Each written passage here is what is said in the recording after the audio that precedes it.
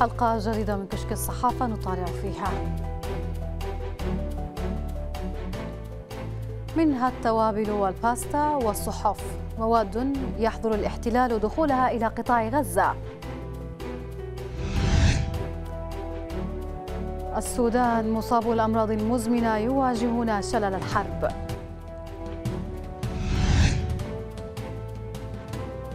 خزانات تخفف عطش السكان والمسافرين بين لحج وتعز.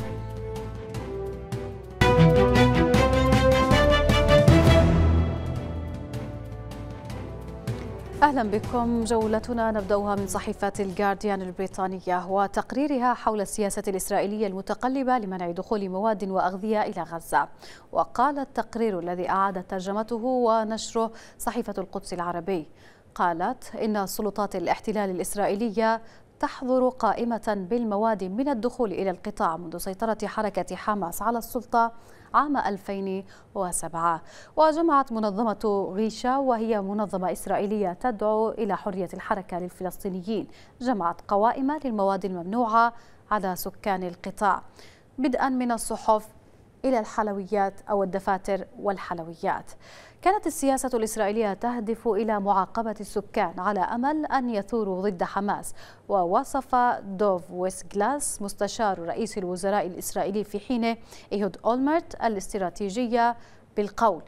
كانت الفكرة هي وضع الفلسطينيين في نظام حمية ولكن بدون تركهم يموتون جوعا واتسمت عملية الحصار بالشد والجذب خلال السنين التالية. ففي عام 2018 منعت إسرائيل قرابة ألف مادة أساسية من دخول غزة وتضم أثواب الزفاف واسفنج الغسيل وزجاجات الأطفال والحفاضات إلى جانب الغاز والوقود والباستا والمربى وحب الهال والكمون والزنجبيل.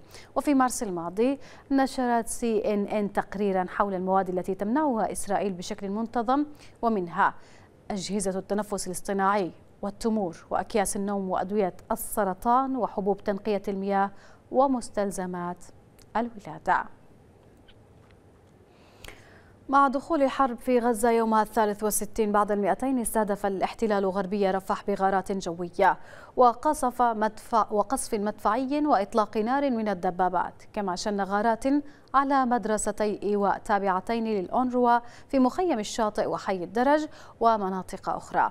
وفي الضفة اقتحمت قوات الاحتلال مخيم بلاطة في نابلس وحاصرت عددا من أحياء المخيم واشتبكت مع مقاومين.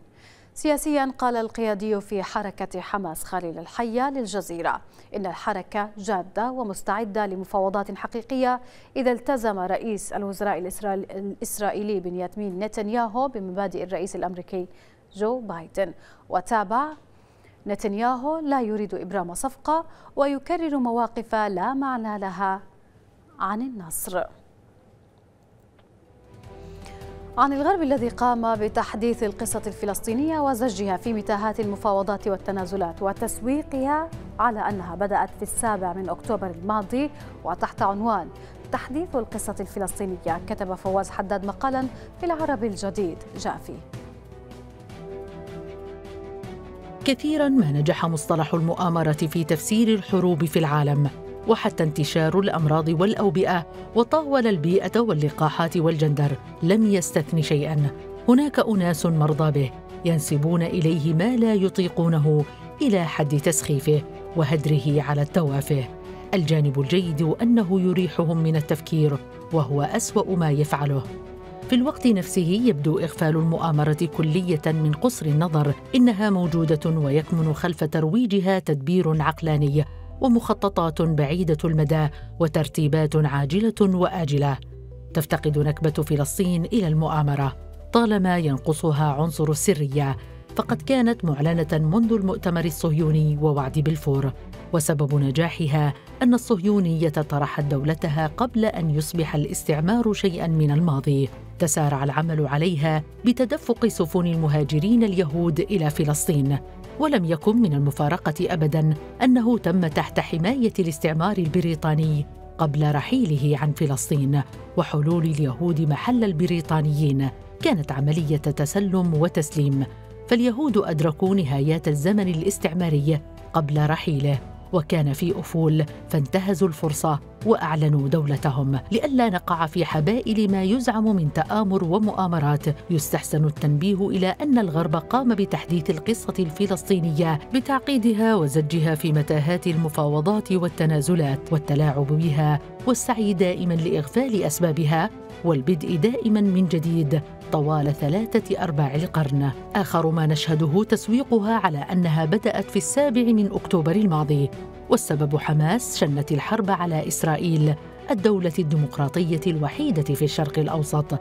هذا التحديث لم يكن جديدا لكن الآن أصبحت حرب الإبادة مبررة. ما يكشف أن المؤامرة في الواقع ما يمارس من تزوير. بزعم أن حماس حركة إرهابية بل من أنها حركة تحرير وطني. وإسرائيل بل بينما أنها استعمار استيطاني. القصة الفلسطينية واضحة وبسبب وضوحها نالتها أطنان من التعمية والتزوير.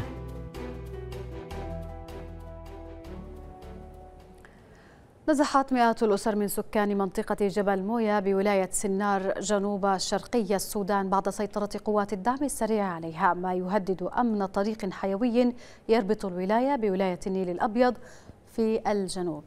تحدث شهود في تقرير لفرانس بريس نقلته الحرة عن نزوح المئات من سكان قرى جبل مويا باتجاه مدينة سنجا. وأسفرت الحرب في السودان عن مقتل عشرات الآلاف بينهم ما يصل إلى 15 ألف شخص في الجنينة عاصمة ولاية غرب دارفور.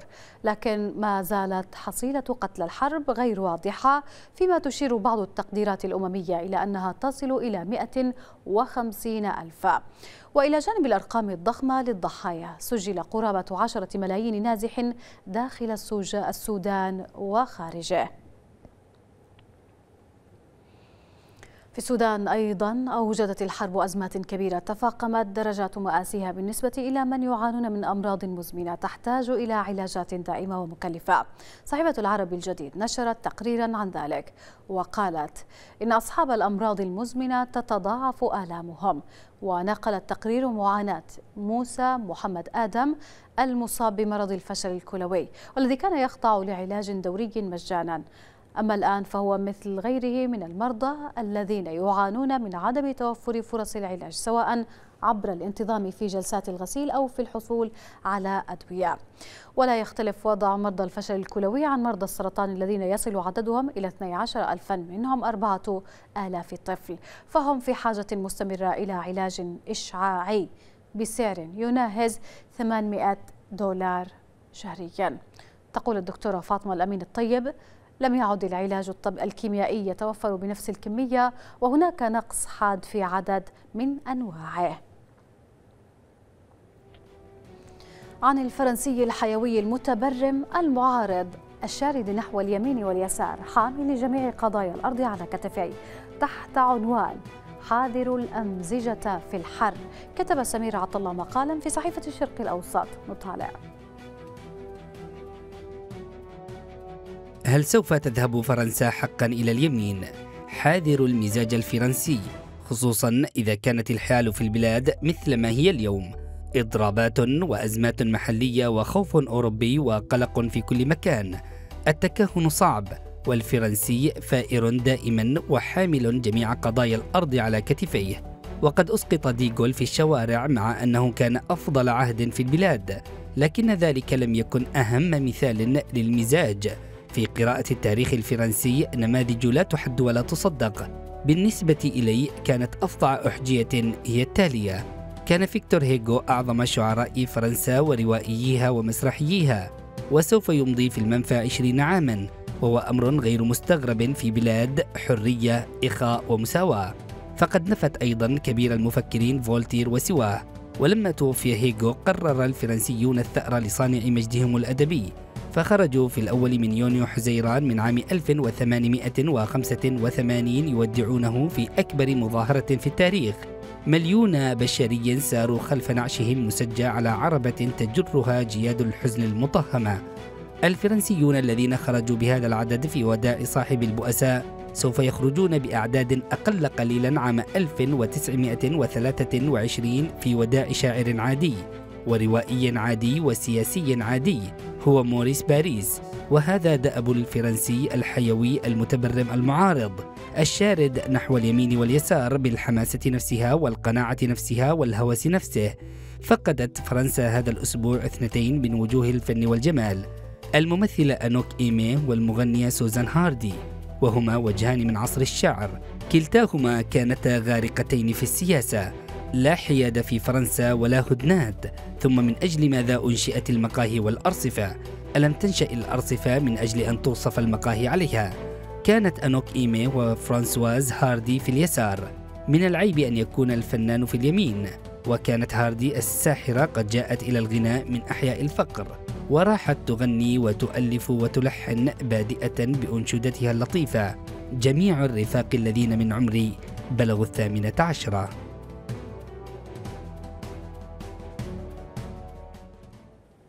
اتهمت الحكومة ميليشيا الحوثي بمواصلة حملة اعتقالات بدأتها مطلع الشهر الجاري ضد موظفي إغاثة بمنظمات دولية وأممية ومحلية في صنعاء مشيرة إلى أن عدد المعتقلين تجاوز سبعين شخصا.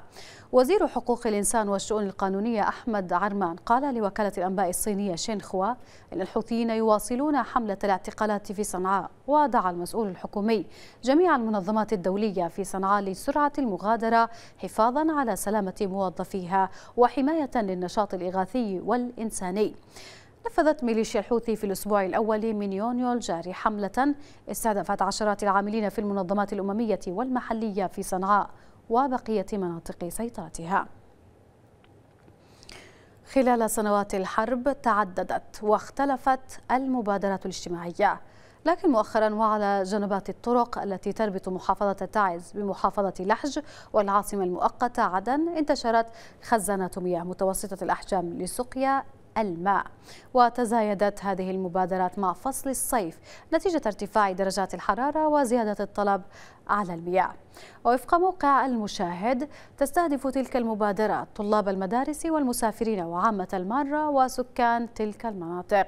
وتتركز غالبية تلك الخزانات في المناطق النائية وعلى مفترقات الطرق ومنعطفات الأودية الطويلة خاصة. في وادي معبق بمديرية المقاطرة ووادي شاب بمديرية طور الباحة بلحج إضافة لحيفان في تعز. يقول شكيب الكندي وهو أحد موردي مادة الثلج إن انتشار خزانات سقيا الماء مبادرة مجتمعية ينبغي تشجيع منظميها ومساندة جهودهم. أحرص عند عودتي كما يقول من العمل على وضع الثلج داخل بعض الخزانات ليبقى الماء باردا قدر الإمكان. يصمت اليمنيون حين يجب أن يتكلموا. ويتكلمون بصورة جنونية حين يجب أن يصمتوا تحت عنوان علمانيون ومتدينون تحركهم الغرائز. كتب عبد العزيز المجيدي مقالا لموقع بلقيس. نطالع جزءا منه هذه العبارة تصلح منطلقا للحديث حول انشغالات اليمنيين على الشبكات الاجتماعية خلال اليومين الماضيين. وكيف تبدو حالة التيه اليمني عميقة وضاربة في اللامعقول. ينغمس الناس في التطفل على الفضاء الخاص للأفراد وينصرفون عما يفترض أنه يشكل جوهر حياتهم في الفضاء العام. ما الذي يجعل هؤلاء ينشغلون بلباس امرأة ويتجاهلون ما يمس حياتهم ويشكل مصيرهم في بلد عالق يعيش نتائج حرب ما زالت تفاعلاتها تفصح كل يوم عن مأساة.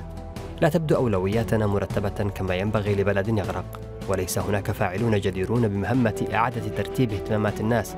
لأنهم أصلا منشغلون بأولوياتهم أو لنقل مخاوفهم أو أطماعهم. لا فرق هنا بين المتدين والعلماني. كلا الفريقين تحركهما الغرائز وليس المثل. يمكننا أن نسأل ما هي الأضرار العامة التي سببتها صور الموديل اليمني خلود على حساباتها الشخصية في الشبكات الاجتماعية؟ كم قتلت من الأشخاص في بلد تسيل فيه كل يوم دماء أصبحت أرخص من الماء؟ وكم عرضا أصابت في بلد ينام ويستيقظ على قضايا هتك أعراض وبيعها والمتاجرة بها؟ هناك آلاف الأسئلة التي تقذف بها يومياتنا عن القسوة والبطش والترويع الذي يلازم حياة الشعب اليمني من أقصاه إلى أقصاه دون أن يجد إنصافا أو تضامنا علمانيا مؤثرا أو يقظة دينية. إذا كان الناس متدينون ومحافظون الذين اعتبروا ما فعلته المرأة وزوجها تعديا على العادات والتقاليد والتعاليم الدينية فلماذا لا تستيقظ هذه الحساسية حيال وقائع نالت من كرامة وأعراض وحقوق نساء وعائلات ما زالت طازجة شمالا وجنوبا. قبل أسابيع تعرضت فتاة من أسرة ضعيفة في مناطق سيطرة ميليشيا الحوثي للاغتصاب.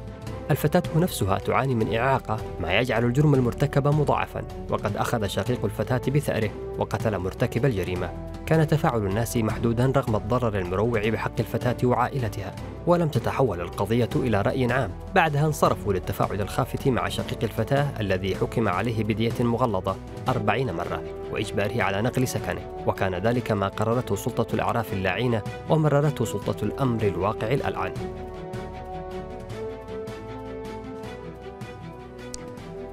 نشرت فرانس بريس مجموعة من الصور عن معاناة السودانيين وخاصة النازحين. نشاهدها معا.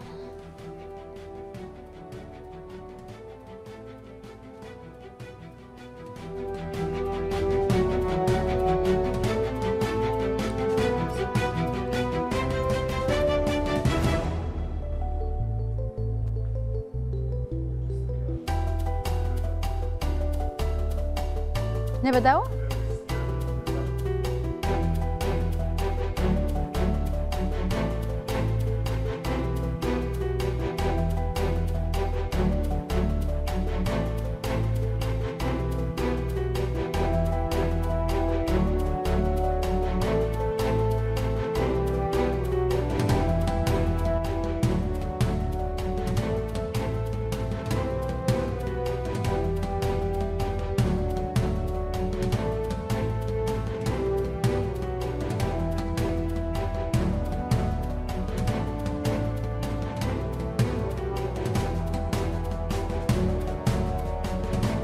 إليكم أبرز رسومات الكاريكاتير لهذا اليوم. نتابعها في جولتنا الأخيرة.